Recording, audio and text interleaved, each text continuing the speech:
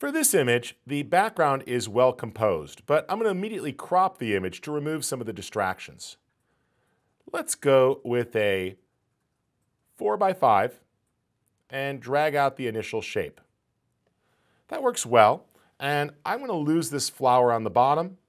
And in fact, let's just go a little tighter here, but rotate, and you see we can lose a bit of that flower on the right. What we're trying to do here is get it so we have good overall image composition, but remove some of the distracting intruders from the outside edges. All right, I like that. I'll press return, and that's coming across nicely. Back to the Basics tab here, we can do an auto exposure to get the initials down right, and then I'm going to play with the shadows. Note how that made it really easy to lift the flowers out of the background. Little clarity so they pop, and let's play with the highlights. Make sure you balance that out. Don't go too repressed. In fact, a little boost here may actually work a bit. I like where that's going. We'll bring up the vibrance, and that feels pretty good. Let's jump over to the sharpening tab for a second and crank that up. Note what we're doing is really bringing out some of the details, but by Option or Alt dragging the masking slider, we could pull down. You'll note actually that there was a wire texture back there.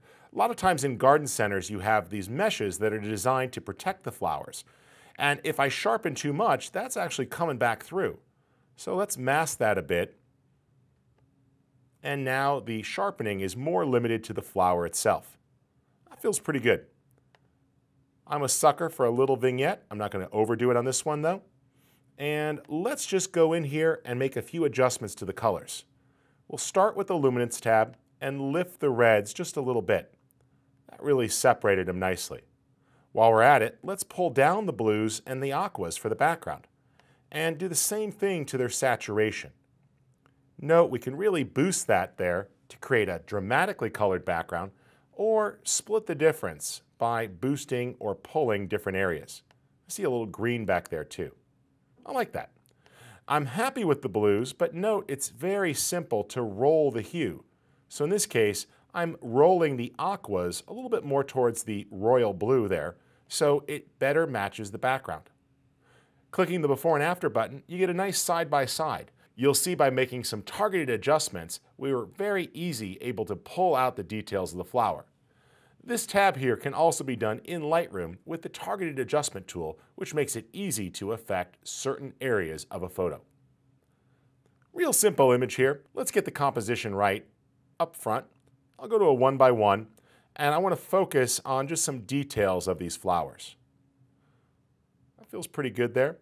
Just get the left edge there in the bottom of that one flower and press return. Now, there's a lot going on with the background here, and it's difficult to completely narrow the focus.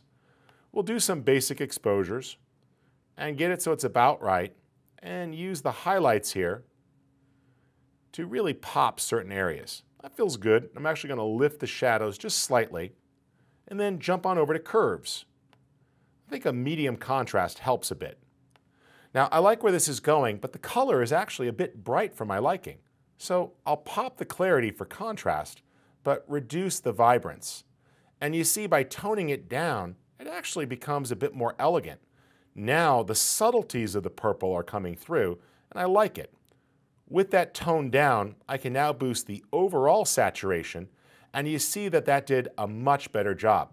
This is a little trick with flowers. Sometimes you'll tone down parts of the flower with the vibrance slider and then restore the overall saturation here.